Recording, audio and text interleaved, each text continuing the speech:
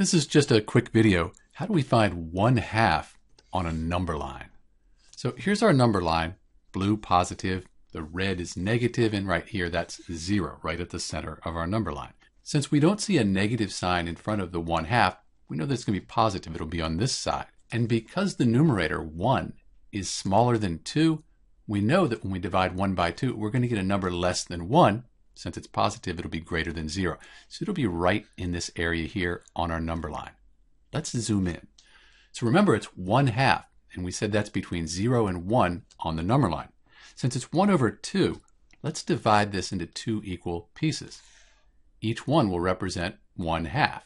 And that means that 1 half, it's right here between 0 and 1, halfway between 0 and 1. So let's write 1 half here. And if you divide 1 by 2, you get 0.5. That's also equal to 1 half. It's equivalent, and that's right here on our number line as well. So that's it, 1 half on our number line here. This is Dr. B. Thanks for watching.